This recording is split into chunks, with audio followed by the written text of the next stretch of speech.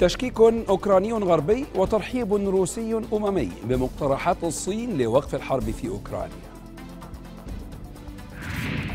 إيران تعتزم تزويد سوريا بأنظمة دفاعية لمواجهة الضربات الإسرائيلية. الاحتلال الإسرائيلي يصادق على بناء أكثر من سبعة آلاف وحدة استيطانية جديدة بالضفة الغربية. وبداية الحصاد بالتطورات في أوكرانيا في ذكرى مرور عام على الحرب.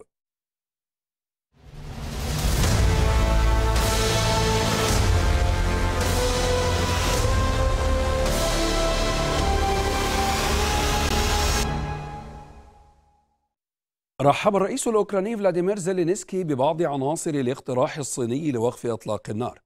وفي مؤتمر صحفي بمناسبة مرور عام على الحرب قال زيلينسكي إن من الصواب العمل في الصين إذا طرحت أفكارا تتوافق مع احترام القانون الدولي وسلامة الأراضي وأضاف أن الصين لم تقدم خطة حقيقية بل مجموعة من الأفكار مشيرا إلى أنه لا يوافق على بعض الأجزاء كما حث بكين على عدم تزويد موسكو بالسلاح.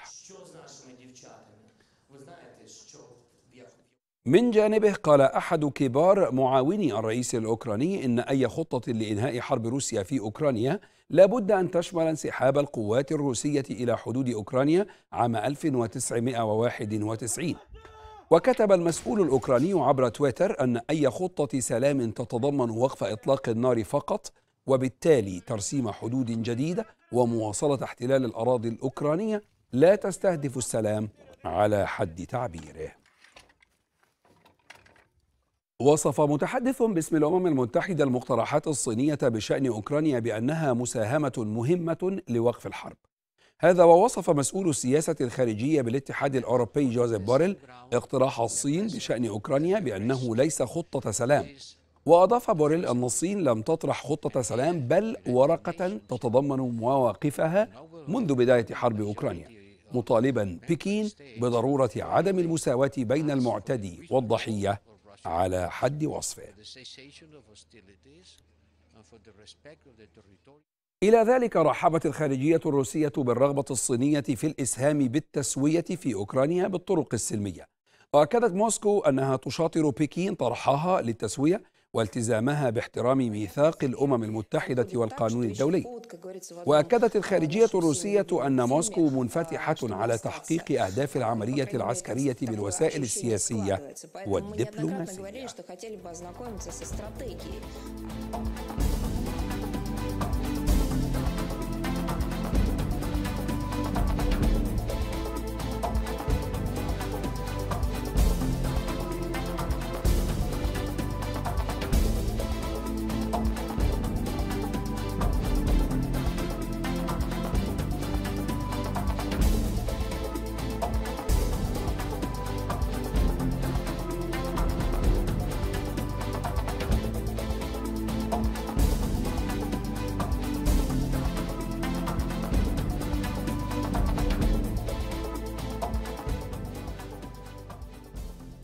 أكد سيرجي ماركوف المستشار السابق للرئيس الروسي أن بلاده تقوم بعمليات عسكرية خاصة لتحرير الأوكرانيين من النظام القمعي.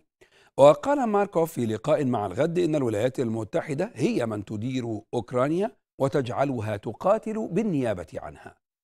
Russia, uh, didn't won the war. روسيا لم تنتصر حتى الآن لأنها لم تقم بأي حرب. إنها فقط عمليات عسكرية خاصة لتحرير أوكرانيا. من في أوكرانيا هم روس ويريدون التحرر. لذا فإن روسيا حريصة على حياة المدنيين. لكن أوكرانيا تستخدمهم كدروع بشرية. روسيا أخطأت في تقدير قدرات أوكرانيا لأن روسيا لم تقدر قوة الجيش الأوكراني ولم تكن مستعدة لهذه الحرب. وكان هذا خطأ كبيرا بالنسبة لروسيا. وهذا أثر على الاقتصاد الروسي والمواطنين الروس. أوكرانيا دولة محتلة. الأوكرانيون ليس لديهم حكومة ولكنها حكومة تدار من قبل الولايات المتحدة الأمريكية وتقاتل بالنيابة عنها. من جهتها أكدت المتحدثة باسم القيادة العسكرية الجنوبية لأوكرانيا ناتاليا هومينيوك أن الوضع معقد جدا في أوكرانيا. وقالت هومينيوك في لقاء خاص مع الغد إن الروس يرهبون السكان يرهبون السكان شرق وغرب النهر ويقصفون المناطق الموالية لأوكرانيا مطالبة الدول الحليفة لأوكرانيا بسرعة إمدادها بالسلاح والذخيرة اللازمة لإبعاد القوات الروسية. الوضع معقد جدا في أوكرانيا. الروس يقصفون المنشآت الطبية والمدارس والحضانات ويرهبون السكان شرق وغرب النهر. دولتنا أقل سكانا من روسيا بخمس مرات. والجيش الروسي ثاني أكبر جيش في العالم. وما يسمونها عملية عسكرية هي حرب شاملة. لكننا سندافع عن أراضينا للنهاية. نحتاج سلاحا لصد الهجمة الروسية والإمدادات بطيئة جدا ما يعطي لروسيا الفرصة لتصنيع المزيد من الأسلحة. أوكرانيا تنتظر أسلحة في الطريق إلينا ولكن هناك معوقات وإجراءات تجعل العملية بطيئة. تلزمنا مدفعية وذخيرة بعيدة المدى حتى نبعد الروس عن أراضينا. وتلزمنا دبابات لحماية المشاة. وتلزمنا الأنظمة الدفاعية التي تحمينا من الهجمة الصاروخية الروسية. فرضت الولايات المتحدة حزمة جديدة من العقوبات على روسيا بالتزامن مع ذكرى مرور عام على الحرب في أوكرانيا.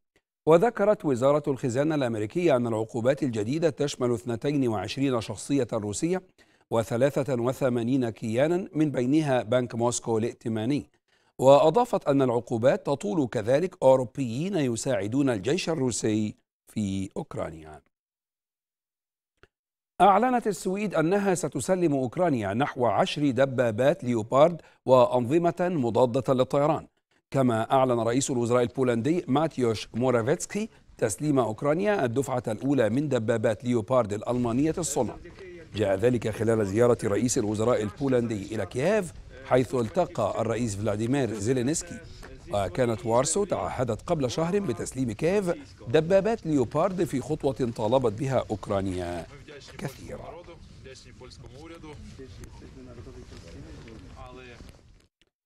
وينضم إلينا لمناقشة هذا الموضوع ضيفانا من العاصمة الأمريكية واشنطن جويل روبن مساعد وزير الخارجية الأمريكي السابق ومن العاصمة الروسية موسكو دكتور عمار قناة أستاذ العلوم السياسية. أبدأ معك سيد روبن وعلى ما تتحفظ الولايات المتحدة بالتحديد على المبادرة الصينية لوقف القتال في أوكرانيا.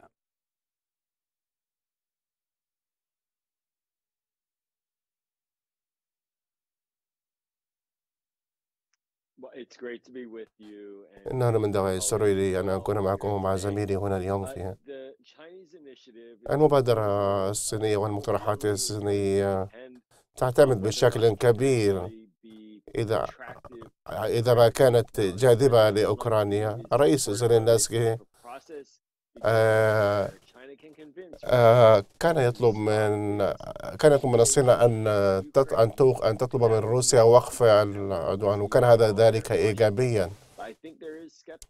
ولكن هناك شكوك لأن الصين في نفس الوقت آه تقول أنها سوف تساعد روسيا آه وقد ربما تمدها ببعض المعدات العسكرية. هناك العديد من الديناميكيات ولكن بالنسبة للولايات المتحدة الجزء الأهم من الدبلوماسية أن تكون أوكرانيا موجودة في طاولة المفاوضات. الولايات المتحدة لن تتفاوض نيابة عن أوكرانيا على أوكرانيا. إذا إذا اتخذت أوكرانيا هذا المسار فسوف يكون ذلك مهما والولايات المتحدة تقدر دور الصين في حيال ذلك أيضا إذا قامت بذلك. نعم. طيب أذهب إلى دكتور عمار قناة. دكتور عمار في ظل العقوبات الغربية الجديدة وفي ظل أيضا التعزيزات العسكرية من الدول الغربية لأوكرانيا يثور التساؤل حول مدى قدرة موسكو على الصمود والاستمرار في الحرب إلى ما لا نهاية حتى تحقق أهدافها. تحياتي سيدتي الكريم سيدي الكريم لك ولضيفك الأكرم. فيما يتعلق يعني في الدعم العسكري بين قوسين اللامتناهي يعني الغربي لأوكرانيا هناك العديد من التساؤلات والتي لا تضعها روسيا ولكن المنظومة الغربية وأيضا يعني الولايات المتحدة في خلال يعني أو ضمن ما نراه من استقطابات سياسية في الداخل الأمريكي وأيضا التباينات في المنظومة الغربية كانت لها علاقة يعني في المنظومة السياسية الغربية أو يعني حلف الناتو. اليوم نحن نتحدث عن مرحلة جديدة باعتقادي يعني ننتقل بها في الصراع يعني الصراع الجيوسياسي وهو منذ البداية لم يكن روسيا اوكرانيا بل هو يعني روسيا امريكيا غربيا بقيادة الولايات المتحدة. فيما يتعلق يعني في بالذات يعني بالدعم العسكري الغربي نرى أيضا أن هناك خلل في هذه المنظومة وأيضا يعني ارتباك في المنظومة الغربية. ضخم كثيرا ملف الدعم فيما يتعلق بالأسلحة الهجومية ومنها الدبابات واليوم يعني يظهر ملف آخر الطائرات المقاتلة طراز إف 16 هذه كلها يعني حتى الأعداد يعني الرمزية من حيث يعني 10 دبابات 14 دبابة ومن هنا أربعة دبابات من اسبانيا على سبيل المثال. لا يمكن لمثل هذا يعني الطرح أن يحقق خلقا عسكريا في الميادين التي نراها يعني في الجبهات المختلفة. فاذا اليوم يعني النظر إلى المشهد العسكري جزئيا لا يمكن أن نقرأه فقط من خلال العمليات العسكرية. نحن أمام مشهد سياسي له علاقة في المتغيرات الجيوسياسية وإلى ما يعني بعد هذه العملية العسكرية وكيفية تطور يعني نمط حتى العلاقات الدولية للانتقال الجزئي من الأحادية القطبية إلى التعددية، المعضلة الآن تكمن لدى الطرف الأمريكي في محاولته الاحتفاظ يعني بمناطق الهيمنة وأحادية القطبية وتمرير مصالحه الجيوسياسية على حساب المصالح القومية الأوروبية وغيرها. عند هذه النقطة دكتور عمار اسمح لي أن أعود مرة أخرى إلى السيد روبن. يعني دكتور عمار يقول أن الكرة الآن في الملعب الأمريكي الذي يحاول الحفاظ على هيمنته وعلى بقاء النظام الدولي على ما هو عليه الآن بدلا من أن يكون متعدد القطبية أو ثنائي القطبية على أقل تقدير.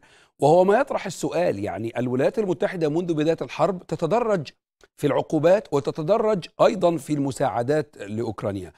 ما استراتيجية الولايات المتحدة في هذه الحرب؟ ومتى يمكن أن تصل إلى توافق ما لإنهائها؟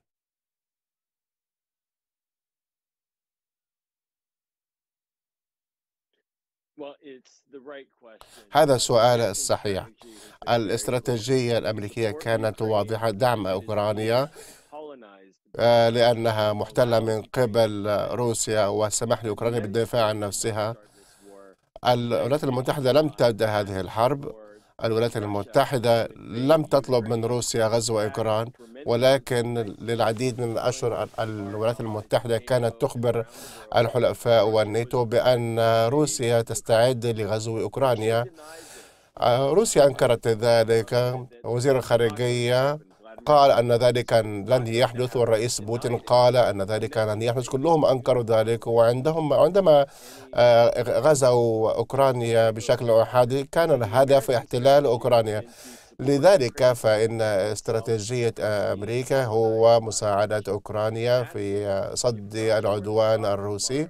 إذا توقفت روسيا عن الحرب غدا فلن يكون أي هناك دعم عسكري من الغرب. وهو ما يقلق روسيا.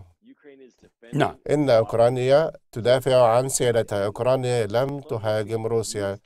لذلك يجب أن تركز الدبلوماسية على ذلك. يجب أن تركز على الدبلوماسية على أن روسيا يجب أن توقف هذا الحرب. وكل الدول تدين روسيا. مئة دولة طلبت من روسيا في الأمم المتحدة أن توقف حربها وتترك أوكرانيا. نعم. هناك آلاف الجنود من الروس في أوكرانيا وعلى روسيا أن تستمع لصوت العقل وأن تستمع لصوت الدول بالانسحاب فورا من أوكرانيا. إن روسيا خسرت استراتيجية لأنها تتبع قراراتها ولا تستمع إلى قرارات الآخرين؟ نعم. طيب دكتور عمار يعني دخول الصين اليوم على الخط بالمبادرة لإيقاف القتال في أوكرانيا كيف تنظر إلى هذا التطور السياسي ومدى نجاعته وكيف يمكن أن يحقق خطوة للأمام؟ آه، فيما يتعلق في المبادرة الصينية ولو فقط تعقيبا يعني آه، بسيطا على ما تفضل به الضيف من الولايات المتحدة عندما يعني يتفضل بالقول بأن دعم أوكرانيا هو استراتيجية لا أرى آه، يعني في هذا الطرح يعني أي استراتيجية. اليوم يعني لا يوجد لدى الولايات المتحدة لا استراتيجية ولا الرؤية يعني الواضحة ولا حتى خارطة الطريق لهذه الأزمة وما بعد الأزمة. اليوم يعني المبادرة الصينية آه، لا يمكن يعني النظر إليها إلى مبادرة تكتيكية لكنها يعني في المنظور الاستراتيجي هي رؤية لما بعد هذه الأزمة. آه، وهنا يعني لا يمكن فقط النظر إلى أنها لوقف إطلاق النار. وقف إطلاق النار يعني والهدنة هو ليس يعني الهدف الأساسي الاستراتيجي للمنظومة الدولية. لكن يعني الحديث هنا وكما أراه يعني شخصيا وهو دخول الصين في المعترف ترك الجيوسياسي كطرف رأينا الصين في بداية الأزمة تلتزم بمفهوم الحياد يعني الإيجابي فيما يتعلق في روسيا لكن بعد يعني الأخطاء الاستراتيجية التي قد ارتكبتها يعني الولايات المتحدة تجاه الصين نرى جزئيا الاصطفاف يعني الجزئي إلى إلى روسيا. فلو نظرنا بتمعن أولا إلى يعني ليس المبادرة لكن الخطة التي وضعها يعني الرئيس الصيني المتمثلة آه، ببنودها الستة ومن ثم المبادرة للمعترك الأوكراني أو الصراع الأوكراني بين قوسين الروسي ببنوده الاثنى عشر. فنحن نرى أن الحديث لا يجري عن معادلة إقليمية لكن أنها يعني معادلة دولية وهي لا تتناسب اليوم مع الطرح الأمريكي. وذلك أنها أن هناك أهداف جيوستراتيجية أمريكية تتناقض يعني في الطرح وأيضا فيما بعد يعني هذه المعادلة. فلذلك التخبط والارتباك في ما تريده الولايات المتحدة هنا تكمن يعني المعادلة. لكن ما أراه أننا مقدمون على حال حالة ومرحلة أخرى من الصراع الجيوسياسي والذي نعم. يعني سيتمثل سيتمثل آه، بالمرحلة القادمة بأزمات اقتصادية وعدم وجود مبادرات غربية للتوصل لحل سياسي والحل السياسي لا أراه ممكنا مع وجود يعني إدارة آه، الرئيس بايدن أو الإدارة الديمقراطية آه، في البيت الأبيض لأن أي حل سياسي سيتطلب الكثير من التنازلات الولايات من قبل الولايات المتحدة وفكرة يعني التوصل إلى هذا الحل باعتقادي لم تنضج اليوم للولايات المتحدة. التذرع يعني بمسألة مفهوم آه، تصويت آه، الهيئة العامة للأمم المتحدة وغيره. الكل يعلم يعني تماما بأن هذه التصويت وهذا يعني الاجتماع كان بناء على الضغوط الأمريكية وهي قرارات غير ملزمة في مفهوم قانون يعني القانون آه، الدولي لكنها يعني محاولات نعم. باعتقادي تبتعد يعني كثيرا عن الواقع اولا السياسي وثانيا الواقع العسكري الذي نراه في الجغرافيا الأوكرانية. نعم. طيب آه، روبن يعني آه، دكتور عمار يصف السياسة الخارجية الأمريكية تجاه الأزمة في أوكرانيا بالتوتر والارتباك منذ بدايتها آه، حتى الآن وهو أيضا ما يثير التساؤل قبل قليل تفضلت أنت وقلت أن روسيا احتلت الأراضي الأوكرانية واخترقت الشرعية الدولية فبدأ أن تدخل الولايات المتحدة هو لحماية الشرعية الدولية والقانون الدولي والنظام الدولي برمته. لكن هناك من ينتقد ذلك ويقول إن هناك مواقف أخرى في دول أخرى تغض الولايات المتحدة الطرف عنها وكأنها لا تحدث لمجرد أنها تحدث من حلفاء. فما ردك على هاتين النقطتين؟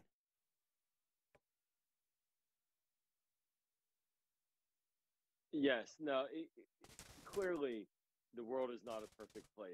العالم ليس في أفضل حال. نعم. هناك بعض القضايا في العالم. لا تتماشى مع الاتجاهات. عندما نركز على أوكرانيا على سبيل المثال وهي القضية الماثلة أمانة إن روسيا ليس لديها أي مبرر لغزو أوكرانيا. ولزميلي أقول النقطة التي تحدث عنها حماية السيادة. أتفق معه في ذلك. روسيا لم تحترم سيادة أوكرانيا. منذ عشرة أعوام تذكر أن روسيا غزت في عام 2014 واحتلت القرم وما زالت تحتل هذه المنطقة على مدار السنين. والآن منذ عام تحاول الآن الاستيلاء على الدولة بأكملها على أوكرانيا. الرئيس السابق لروسيا آه، قال أن ذلك لم يحدث من وجهة نظر الأمريكية والناتو فإن روسيا لديها شهية احتلالية وإن لم تتوقف روسيا الآن فإنها ستلتزم غزو دول أخرى في شرق أوروبا. الرئيس بايدن اجتمع مع العديد من الدول دول الناتو مع بولندا وأرمانيا وليتافيا. هذه الدول آه، هي آه، قلقة جدا من الوجود الروسي ولذلك فهي تطلب الحماية الأمريكية ضد روسيا. هذه المشاكل كلها ستختفي إن توقفت روسيا عن تهديد جيرانها. وهذه هي التحديات هذه التحديات أمام أي مبادرات تتقدم بها الدول مثل الصين. يجب أن تقنع الدول روسيا بالتوقف عن تهديد الدول المجاورة والحفاظ على سيادة الدول. هذا من هذا من خلال ذلك سوف تحل كل النزاعات. شكرا جزيلا لك سيد جويل. روبن مساعد وزير الخارجية الأمريكي السابق كنت معنا من العاصمة الأمريكية واشنطن وشكر موصول إلى دكتور عمار قناة أستاذ العلوم السياسية. كنت معنا من العاصمة الروسية موسكو. الرابع والعشرون من شهر فبراير من العام المنصرم كان يوما له ما بعده. أطلقت فيه روسيا ما تسميه بالعملية العسكرية الخاصة في أوكرانيا. بهدف اجتثاث النازية ونزع السلاح من أوكرانيا ووأد فكرة ضمها لحلف شمال الأطلسي تمكنت روسيا من السيطرة على مدن عدة في دنباس ولأن الحروب كر وفر انسحبت القوات الروسية من جبهات مهمة بعد مقاومة من القوات الأوكرانية. سيناريو وصف بالانتكاسة ما دفع بالكرملين لإجراء تعديلات على غرار إعلان التعبئة الجزئية في البلاد لأول مرة منذ الحرب العالمية الثانية. تسارعت الأحداث ففي الثلاثين من سبتمبر ضم بوتين أربع مناطق أوكرانية لقوام روسيا الاتحادية. خطوة أججت الصراع ففي الثامن من أكتوبر استهدف جسر القرم. حدث نقل التصعيد الروسي الأوكراني إلى مستوى جديد. تسارع الأحداث وارتفاع منسوب التصعيد زاد من ويلات الصراع العسكري الروسي الأوكراني. صراع تمرد على حيزه الزمني ليصل عامه الأول وليتحول إلى ما يشبه الحرب بالوكالة بين موسكو وداعمي أوكرانيا. إنه الرابع والعشرين من فبراير شباط عام 2022 تشير الساعة إلى الخامسة صباحا. دوت صافرات الإنذار في كل المدن والأراضي الأوكرانية وكانت نذيرة بإعلان الحرب على أوكرانيا.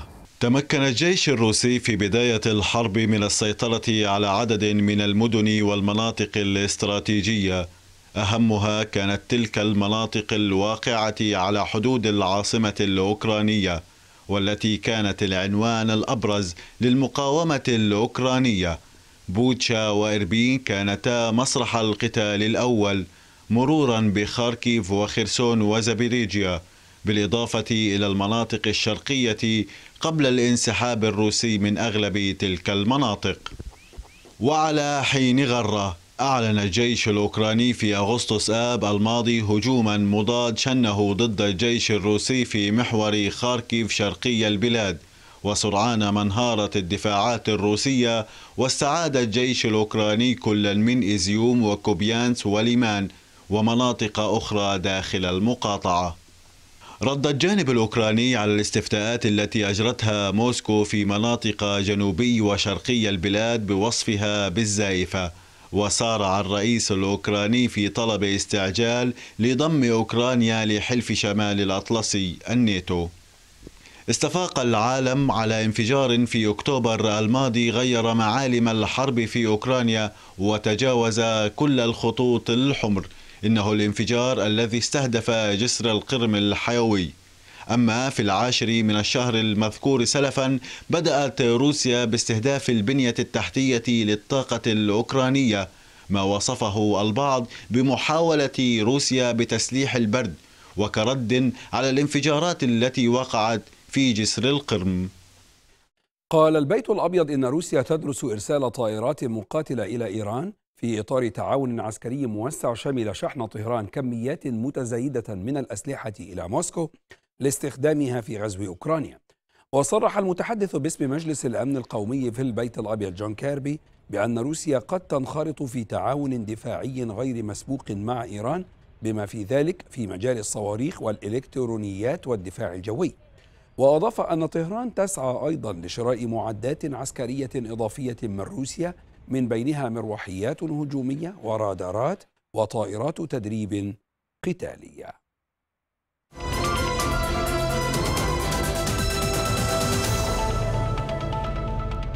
قال التلفزيون الرسمي الإيراني إن من المرجح أن تبيع إيران صواريخ أرض جو لسوريا لمساعدتها في تعزيز الدفاعات الجوية في مواجهة الضربات الجوية الإسرائيلية المتكررة.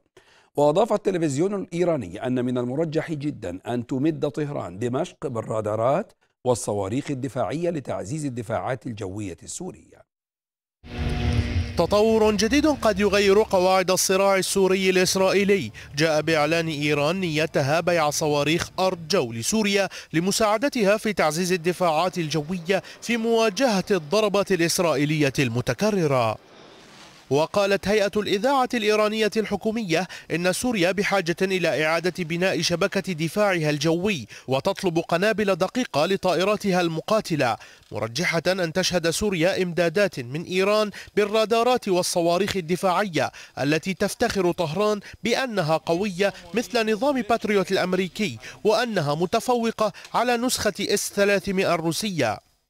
وعلى الرغم من وجود منظومة إس 300 في سوريا إلا أنها لم تقم بالتصدي لأي من الهجمات الإسرائيلية. كذلك لم تتمكن الدفاعات الجوية السورية من التصدي أو إسقاط أي طائرات تركية هاجمت عدة نقاط في الشمال السوري. وهو ما دفع دمشق إلى البحث عن بديل إيراني ربما يساهم بحماية أجوائها من الهجمات التركية الإسرائيلية. ويعد إعلان طهران عن تزويد دمشق بأنظمة الدفاع الجوي استكمالا لاتفاقية إيرانية سورية تم توقيعها عام 2020 تؤكد على هذا الشأن في إطار توطيد العلاقات العسكرية بين البلدين. وفي ظل انشغال روسيا في حربها ضد أوكرانيا كشفت تقارير عن قيام إيران بتعزيز تواجدها في عشرات المواقع السورية والتوسع في بسط نفوذها على أكبر مساحة من الجغرافيا السورية في وسط وشرق وشمال البلاد.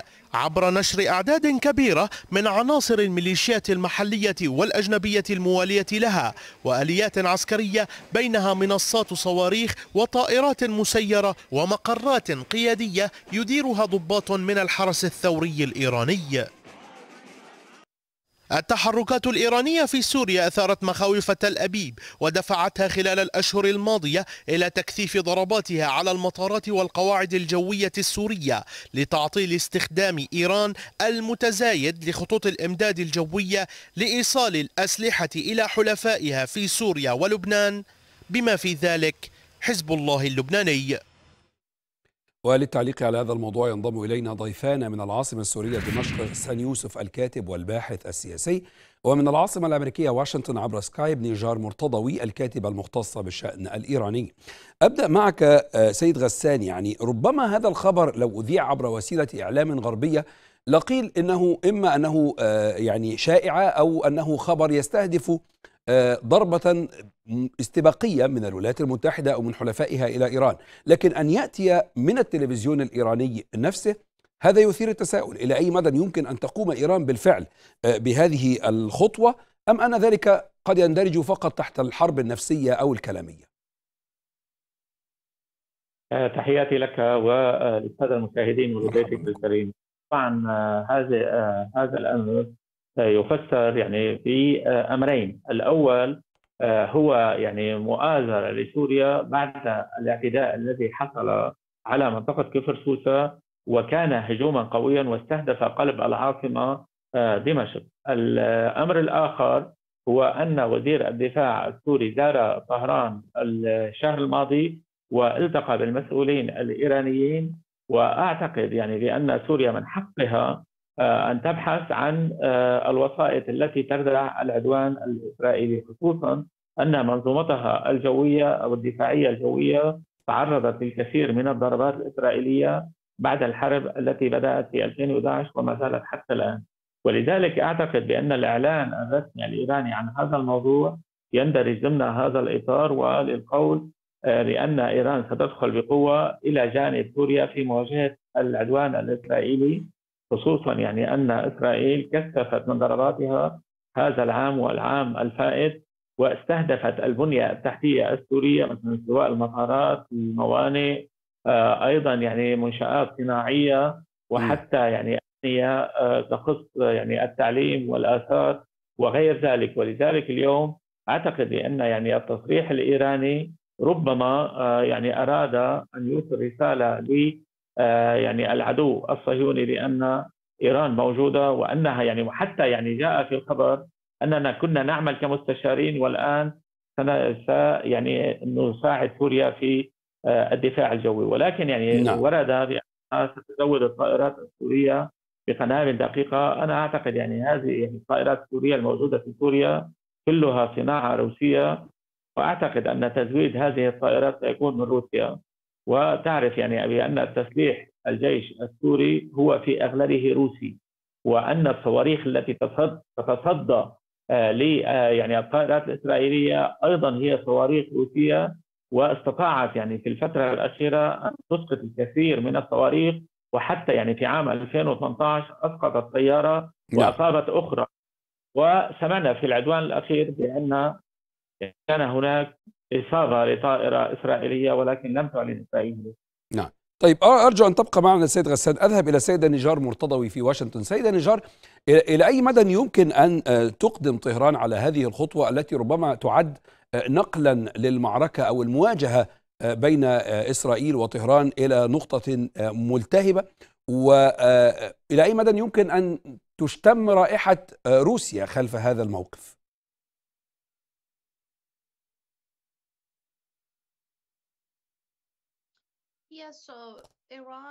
إن إيران وروسيا. آه، تدعم نظام الأسد منذ بداية الحرب وما يحدث في سوريا. وهي حرب ظل بين طهران وتل أبيب. وكلا الجانبين آه، يشتركان في حرب الوكالة وفي الحرب النفسية. في الأسبوع الماضي قال السوريون أنها منطقة سكنية تعرضت تعرضت للقصف الإسرائيلي في وسط دمشق. وقبل ذلك آه، فإن أيضا آه، أن هناك أيضا موقع في إيران تم استهدافه وإيران وجهت التهمة إلى إسرائيل للقيام بذلك. لذلك لأننا بذلك فإننا أصف هذه الحرب أنها حرب الظل. لأن هذه الحرب وصلت إلى حدود إيران لأنها استهدفت منشآت عسكرية في أصفهان. الحرب مستمرة. واعتقد أن أيضا إيران تقف إلى روسيا في هجمتها ضد أوكرانيا لذلك فإن روسيا أيضا تقف إلى جانب إيران في توجهاتها وفي خططها في سوريا وغيرها من الدول. وأعتقد أن وفقا لوسائل الإعلام الإيرانية فهي بالفعل سوف تمد سوريا بهذه الأسلحة. نعم. طيب سيد غسان أعود إليك مرة أخرى. في حال حدوث هذه الخطوة وإمداد إيران سوريا بأنظمة دفاع جوية ورادارات وصواريخ يعني إلى أي مدى يمكن أن ينقل ذلك مآلات الحرب إلى منطقة أخرى؟ والموقف الإسرائيلي ومن ثم الأمريكي بطبيعة الحال لمواجهة هذه الخطوة. يعني أعتقد بأن الأمر سيتغير كثيرا باعتبار أن إسرائيل يعني هي من تقوم بالاعتداء على سوريا وسوريا هي من تقوم ب يعني الدفاع عن نفسها. هذا من جهة. وأيضا يعني من حق سوريا أن تستعين بأصدقائها سواء كانت إيران أو روسيا أو أي بلد آخر يعني للدفاع عن أرضها وشعبها ومنشآتها يعني وبنيتها التحتية. ولذلك يعني إذا ما حاولت إسرائيل مثلا أن تكون يعني لديها ردة فعل عنيفة ستواجه يعني برد فعل أقوى. خصوصا لأن إيران اليوم يعني أعلنت عن منظومات دفاع جوي مثلا كباور 3 3 أو خرداد 15 والتي يتفرع منها صياد 2 و5 وغيرها التي تصل إلى حوالي 350 كيلو متر. وأيضا يعني قالت بأن هذه الصواريخ هي تضاهي مثلا إس 300 وأيضا تضاهي يعني باتريوت. واعتبرتها يعني فخر الصناعة الإيرانية وقالت بأن أجواء إيران محمية بهذه المنظومات الدفاعيه إذا فعلا يعني ثبت هذا الأمر واستطاعت يعني سوريا وإيران بناء هذه المنظومة أعتقد بأن هذا أكبر يعني نتيجة للاعتداءات الإسرائيلية. لكل سبب نتيجة والنتيجة ستكون أن سوريا ستقوم بتحصين أجوائها والدفاع عن نفسها. ولذلك يعني فيما إذا كان هناك ردة فعل إيرانية أنا أقول عفوا إسرائيلية سيكون هناك أيضا يعني وسائل أخرى كالطيران المسير ويعني مهاجمه المواقع الأمريكية في المنطقة الشرقية خصوصا يعني أن نتنياهو عندما قام بالاعتداء على دمشق ومنطقة كفر سوسه تحديدا ذكر بأن يعني المنشآت الأمريكية في في سوريا قد تعرضت لهجمات. يعني دون يعني هذا يؤكد بأن اولا يعني هناك احتلال أمريكي لديه يقوم بسرقة النفط السوري بالتعاون مع إسرائيل وأيضا يعني هناك قاعدة التنف التي تخرج منها الطائرات الإسرائيلية وتنفذ غارات مثلا في وسط سوريا في شمال شرق سوريا في شمال سوريا في منطقة يعني حلب وغير ذلك. وحتى يعني أنا يعني سمعت خبير روسي عسكري يقول بأن الرادارات السورية يعني أحيانا لا تستطيع أن تميز إذا كانت هذه الطائرات إسرائيلية أو أمريكية التي تخرج من قاعدة التنف وهذا يؤكد العلاقة الوثيقة نعم. مع يعني بين إسرائيل وأمريكا في الضربات نعم. يعني الجوية على سوريا نعم. طيب أعود مرة أخرى إلى السيدة نجار مرتضوي في واشنطن. سيدة نجار يعني على تعقد الملفات بين إيران والولايات المتحدة الأمريكية من الملف الروسي إلى الملف السوري إلى البرنامج النووي وأيضا أمن الخليج. موقع هذه الخطوة الإيرانية في هذه الملفات إلى أي مدى يمكن أن تقوم طهران بفعل ذلك بالفعل؟ وهل رغبتها هي الضغط على الولايات المتحدة في بقية الملفات؟ وكيف سيكون الموقف الأمريكي؟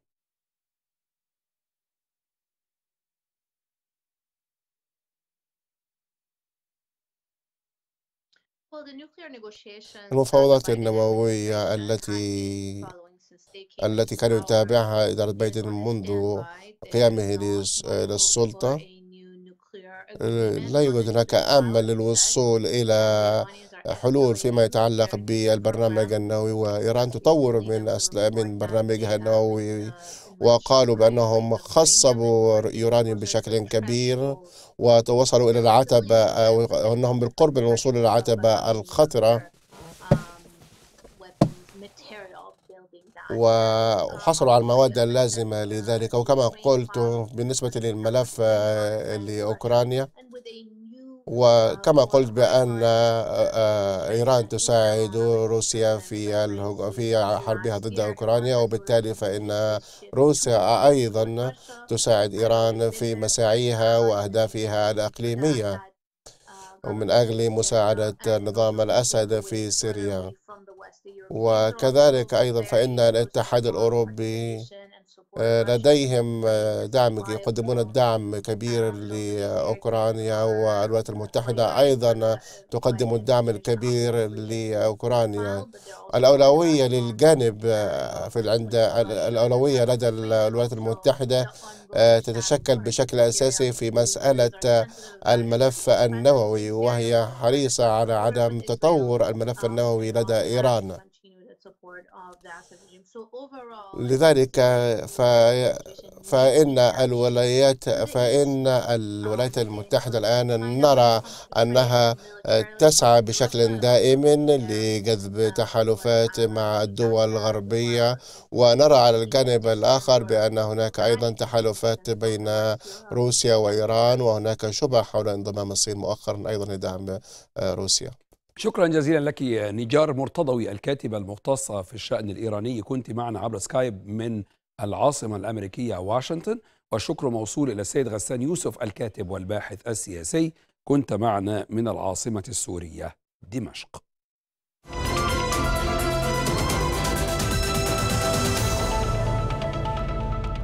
أفادت مراسلة الغد بأن مجلس التخطيط الأعلى الإسرائيلي صادق خلال اليومين الماضيين على بناء آلاف الوحدات الاستيطانية في الضفة الغربية. وأوضحت مراسلة الغد أن إجمالي عدد الوحدات الاستيطانية التي صادق عليها الاحتلال تجاوز سبعة آلاف ومئتي وحدة. وللتعليق على هذا الموضوع ينضم إلينا من رام الله عبد الله أبو رحمة الخبير في شؤون الاستيطان. سيد عبد الله قراءتك للخطوة الإسرائيلية للمصادقة على بناء آلاف الوحدات الاستيطانية الجديدة في الضفة الغربية.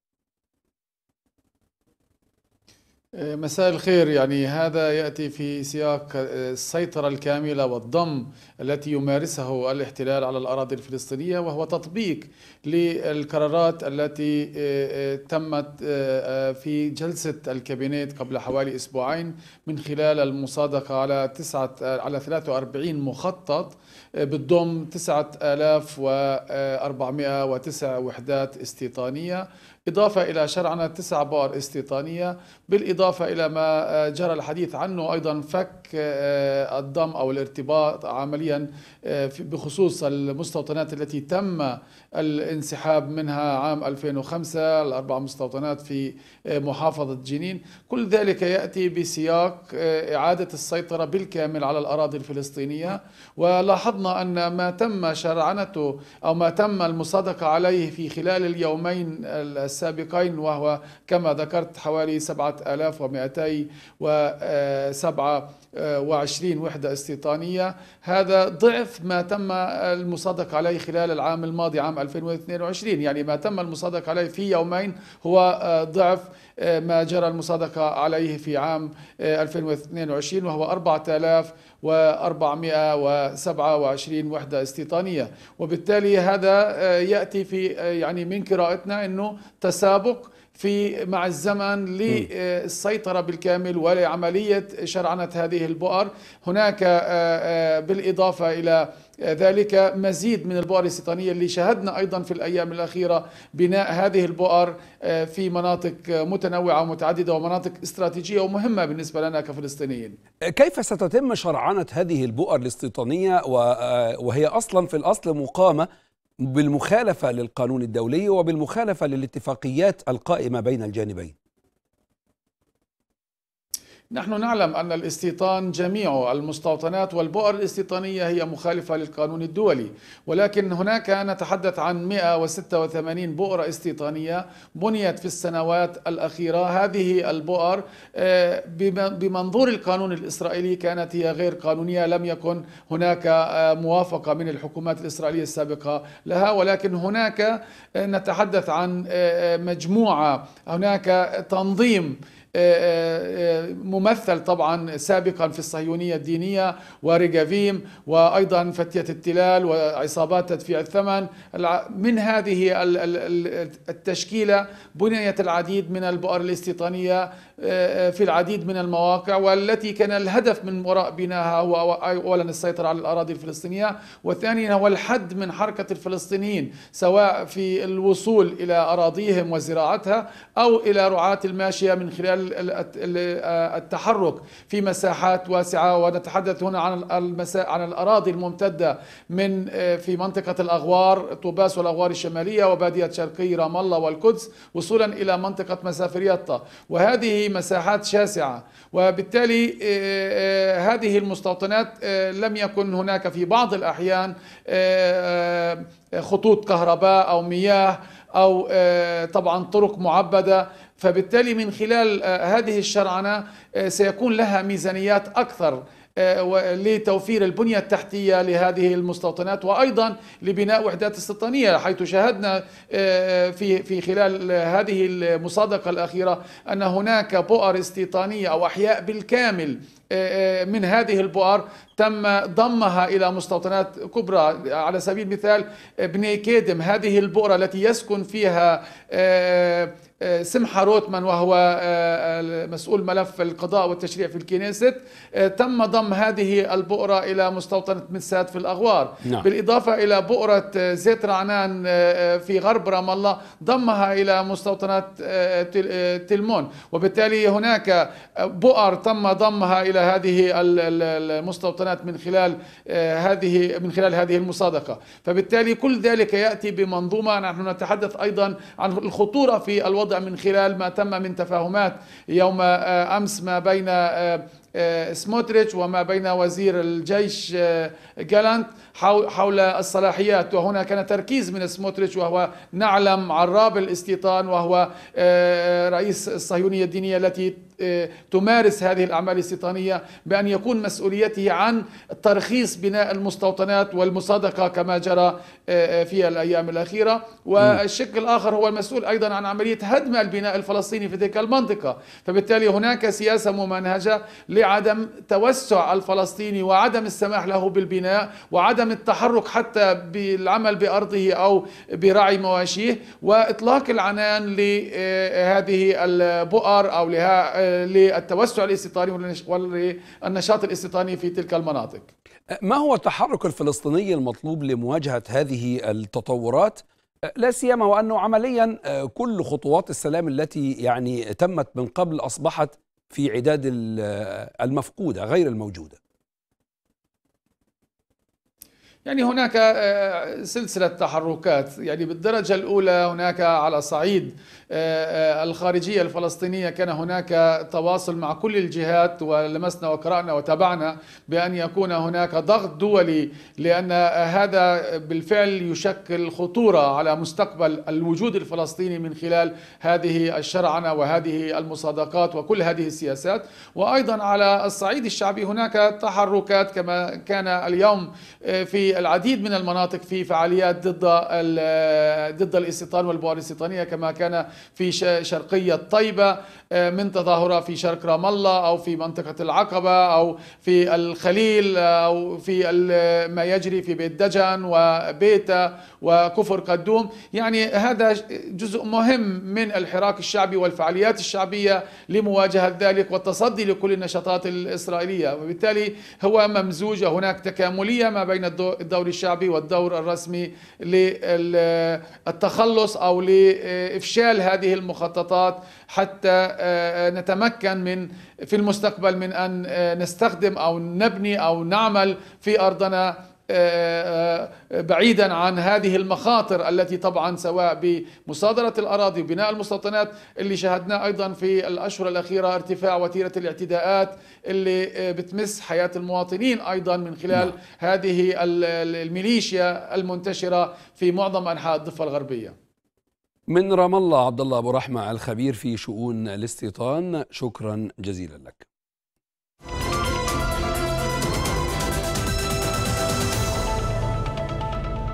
أعاد زلزال تركيا المدمر تسليط الضوء على حركة الأرض حيث تعد منطقة الشرق الأوسط منطقة زلزالية وإذا كان الخبراء يستبعدون تأثير زلزال الأناضول على فالق البحر الميت بعد الهزات التي سجلت في المنطقة فإنهم يحذرون في المقابل من أن تاريخ الجغرافيا يعيد نفسه وتاريخ المنطقة وتاريخ المنطقة ولا سيما لبنان. هذا التاريخ حافل بالزلازل الكبرى. واقع يفرض على الحكومات اتباع نمط بناء جديدا وثقافة توعوية. أثار الزلزال المدمر في تركيا هواجس جدية من تأثيره على فالق البحر الميت البالغ طوله ألف كيلومتر بدءا من العقبة حتى تركيا مرورا بلبنان. وذلك في ضوء الهزات التي سجلت عقب الزلزال والتي لم تكن كلها ارتدادية. أنا عم راقب حركة امتداد الهزات الارتدادية صوب شرق المتوسط صوب البحر لأنه في عنا تركيبات جيولوجية موجودة بالبحر. إذا تأثرت باللي صار بست شباط ممكن تأثر علينا بس لحد هلأ مش شايفها مأثرة. يعني انحصرت الحركة يبدو بمنطقة الإسكندرون حتى المنطقة البحرية هونيك انحصرت. وهلأ عم لاحظ شوية حركة بالبحر. هودي بإطارهم الطبيعي لأنه كانوا يصيروا ومش عم بيصيروا أكثر مما يعني بنسبة أكثر مما كانوا يصيروا قبل ست شباط لبنان الذي يقع على خط زلازل شهد أعنفها فصدع البحر الميت يمر بلبنان ويتفرع إلى فوالق متعددة بدءا من اليمون الرئيسي إلى الفروع روم وراشيه وسرغايه إضافة إلى فالقين في البحر القرن القبرصي واللاذقية. لبنان عرف أكثر من زلزال في تاريخه وارتبط تاريخ عاصمته بيروت بحدث دمارها إثر تسونامي. الذي عقب هزة قوية في البحر عام 551 عام 1202 تحرك فالك اليمونة عام 1759 وبفارق شهر واحد تحرك فالقا راشية وسرغاية. عام 1837 تحرك فالق روم. ضحايا كثر سقطوا. والسؤال إذا ما كان تاريخ الجغرافيا؟ يعيد نفسه. على طول بنقول محل ما في فوالق زلزالية متحركة متحركة تاريخيا ما بنتوقعها توقف إلى الأبد. بنتوقعها تنعاد الحركة عليها. حركة دائمة فترة الإعادة على طول موجودة. هلأ بنزيد عليها 100 200 سنة بالزايد من 200 سنة بالناقص لأنه علم الزلازل ما بيقدر يخلينا نحصر أي متى بالضبط بتصير الأمور. لم تتميز طبيعة لبنان لولا حركة الأرض التي أنشأت الجبال والوديان ولكن الخطر الكامن يحتم الوعي واعتماد نمط ثقافي جديد يبدأ بعدم الاستخفاف بإنشاء أبنية مقاومة للزلازل لأن الكارثة قد تأتي. يوما ما. كلودي أبي حنا قناة الغد بيروت. في ختام حصاد اليوم من قناة الغد بالقاهرة هذه تذكرة بأهم عناوينه. تشكيك أوكراني غربي وترحيب روسي أممي بمقترحات الصين لوقف الحرب في أوكرانيا. إيران تعتزم تزويد سوريا بأنظمة دفاعية لمواجهة الضربات الإسرائيلية. الاحتلال الإسرائيلي يصادق على بناء أكثر من سبعة آلاف وحدة استيطانية جديدة بالضفة الغربية. انتهى حصاد اليوم من قناة الغد. إلى اللقاء.